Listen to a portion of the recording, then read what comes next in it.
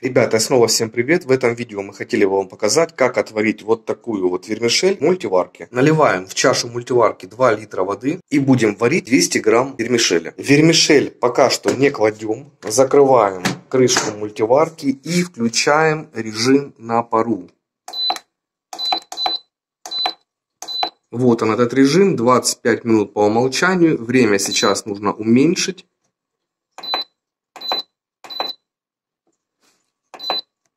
Оставить 5 минут и нажимаем кнопочку старт. Ребята, таймер начнет свой отчет тогда, когда вода уже в чаше закипит. Поэтому имейте в виду, таймер сейчас будет остановленный, пока вода не закипит. Добавим соль на глаз и миллилитров 20 растительного масла. Ребят, вот смотрите, вода закипела. Сейчас закидываем вермишель. Перемешаем. Закрываем крышку и сейчас вот начнется уже скоро отчет таймера. Ну, можете, в принципе, дождаться, когда именно начнется отчет. Время готовки завершено. Вынимаем чашу. Прогоняем воду через друшляк и сливаем вермишель. Вермишель вот такую вот промывать не нужно. И желательно выбирать вермишель и макароны твердых сортов, чтобы они не разваривались. Ребятушки, надеюсь, вы научились варить макароны, вермишель точнее, в мультиварке. Подписывайтесь на наш канал, чтобы не пропускать новые рецепты по мультиварке. У нас есть отдельный плейлист. А на этом все. Всем до новых встреч. Пока. Ребят, ну пока вода э, в мультиварке разогревается, сейчас вам еще, кстати, напомню, если вы не поняли в начале видео. Значит, смысл какой? Э, для того, чтобы вода разогрелась, мультиварке нужно определенное время. Макароны варятся 4-5 минут, поэтому мы изначально в режиме на пару выставляем время 5 минут или 4 минуты, смотрите сами уже по инструкции. И таймер будет стоять на месте, он не будет э, уменьшаться до тех пор, пока не нагреется в чаше вода, то есть пока не будет здесь кипяток. Когда уже вода нагревается в чаше, это может пройти там 10 минут, вот. После уже включ... после, когда нагреется, только начнет отчет. Вот, вообще 4 минуты они варятся, да, мы минуту запасу дали. Открываем мультиварку, засыпаем вермишель. Закрываем, и 4 минутки она варится. Вот. Если вы, допустим, собираетесь варить картошку в воде, то вы можете сразу в чашу налить кипяток сразу налить э, в чашу кипяток, закинуть картошку, закрыть э, крышку, включить режим на пару. И быстрее вода начнет уже, ну она же будет как горячая, правильно, она быстрее уже э, закипит, дойдет до нужной температуры, в которой установлена мультивар, в мультиварке, которая установлена. И, соответственно, быстрее начнет отсчитываться таймер. Поэтому такой вот лайфхак. Но для макарон он, для вермишели, для макарон он не подойдет. Почему? Потому что, ну, если вы сразу в кипяток кинете, что с них получится? Хотя, хотя, можно и проверить, да? Если в кипяток сразу за, запулить макароны. Ну, просто если на режиме... Нет, ну вот если смотри, мы, допустим, наливаем чашу кипяток. Тогда меньше. Высыпаешь вермишель. Ну смотри, налили чашу кипяток, да, высыпали вермишель, это же быстрее таймер включится. Да. И все, и мы быстрее сварим. Ну, попробовать надо. По крайней мере, ребят, мы еще так не пробовали. Такие эксперименты не проводили. Можно, кстати, будет попробовать. Да, у нас вермишели хватает. Мы можем проэкспериментировать просто. Снять да, еще одно видео. то же самое просто таймер. Не, не, не, это понятно. Мне просто беспокоит состояние вермишеля. Что с ней произойдет, если мы в кипяток ее закинем? В кипяток ты кидаешь, оно то же самое. Ну, просто мы сразу в кипяток, то есть, когда... Ну да, в принципе, мы же так, когда в кастрюле варим, все то же самое.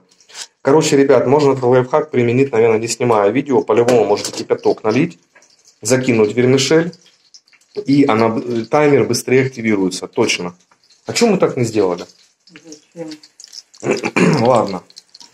Так, ребятушки, если вы заметили, Какие котлеты, видите, красивые. Но дело в том, что мы их не делали. Это полуфабрикаты. Нет реально времени их сделать. Вот хочется сейчас прям вот э, чего-то скушать с макаронами, а котлеты делать, ну, нет времени. То, что вся, сейчас все в заморозке, это нужно разморозить, э, дальше лепить котлеты из фарша. Но настоятельно рекомендую не использовать полуфабрикаты. Это уже в крайних таких целях, если уж срочно нужно что-то покушать. Почему? Потому что полуфабрикаты только бывают качественные, когда кто-то вам их продаст из людей, которые занимаются кулинарией. То есть человек в домашних условиях делает э, котлетки, да, заморозил их в морозилке и вам их продал. Вот тогда они будут хорошие, если человек умеет их делать. А вот это все магазинное, вот это магазинное, ребят, поверьте, никто стараться особо не будет. Почему? Потому что, ну, никто не будет делать как для себя. Из-за этого хозяин вот этой точки, допустим, вот этой точки, да, где мы взяли, либо в какой-то другой точке, они, вот, допустим, да, в магазине несколько точек полуфабрикатов. Один из них должен быть умнее, то есть один из них должен делать так, чтобы постоянно люди к нему приходили. Но в основном никто это не делает. А вот, допустим, четыре точки с полуфабрикатами, и каждый делает тяп-ляп.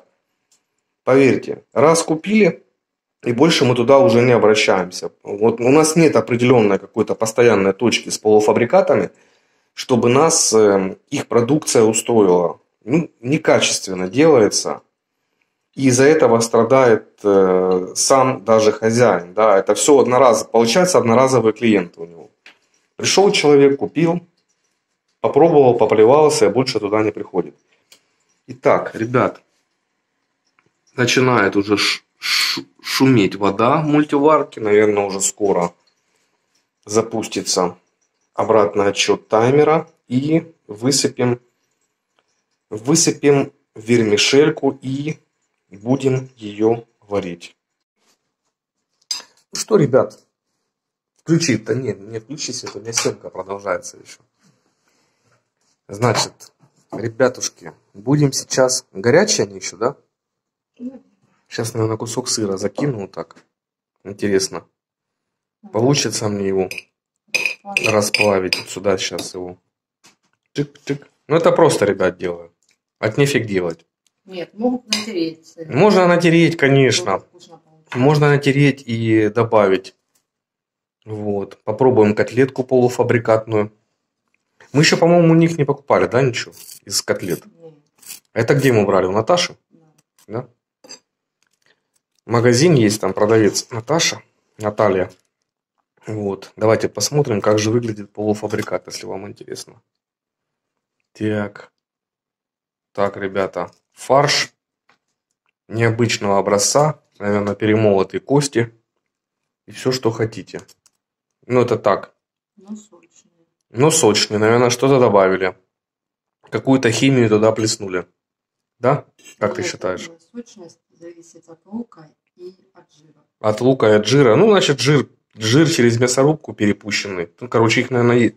Ну, попробуй, как ты считаешь. Хм. Нормальные? Пойдут? Довольно. Да? А почем они? Не помнишь? 255, по-моему. 255 рублей, ребята, представляете? Сейчас я попробую.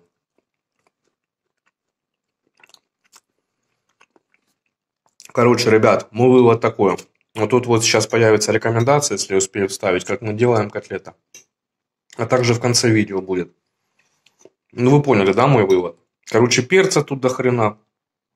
Фарш непонятного происхождения. В общем, такое ощущение, как э, губку какую-то сейчас жую. Ну, у меня другого ощущения нет, как будто мочалку взял и жую ее. Вот такой вот фарш, ребята. Вот он. Дешевый. Качество, ребят, качество. Сколько же, интересно, себестоимость их? Ну, если посмотреть обычный фарш, ну, который вот этот упакован, Угу. он там что-то стоит до 150 рублей за килограмм. Ну да. Ну, в общем, ребят, все окей. Так, надеюсь, я вам аппетит не испортил. Надеюсь, вы кушаете нормальные домашние котлеты с вермишелью. Поэтому обязательно посмотрите все рекомендации в конце видео. И пробуйте готовить еду по нашим рецептам. Всем спасибо за просмотр. Буду кушать котлетосы, вермишелесы. И нужно сейчас идти делать монтаж этого ролика. Всем пока.